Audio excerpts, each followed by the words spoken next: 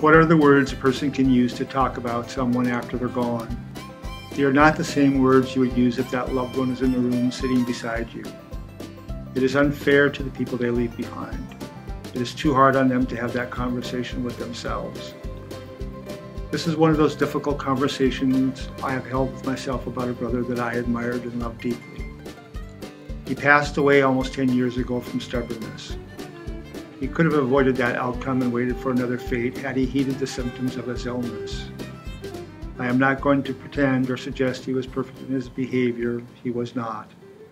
He was human with all the virtues and frailties awarded our species.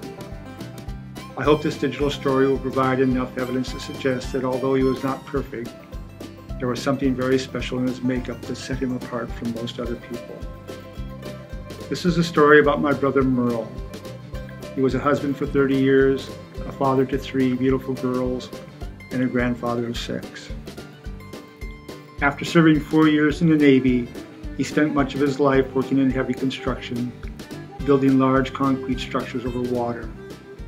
His work consisted of building such things as dams, bridges, and fish ladders.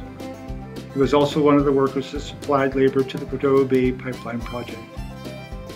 He had a very natural, infectious personality that most people would cling to when they were introduced to him.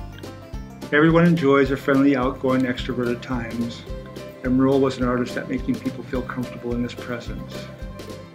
He was given the gift of having a kindred spirit and had the premonition to see if you needed a quiet conversation or some whimsical antics to help you forget the burden of the moment.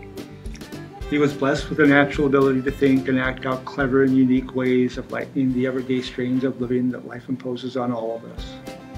I am reminded of him every day in my thoughts and in my actions. I am happy to have the memories of him in my life. Everyone that knew him misses him dearly.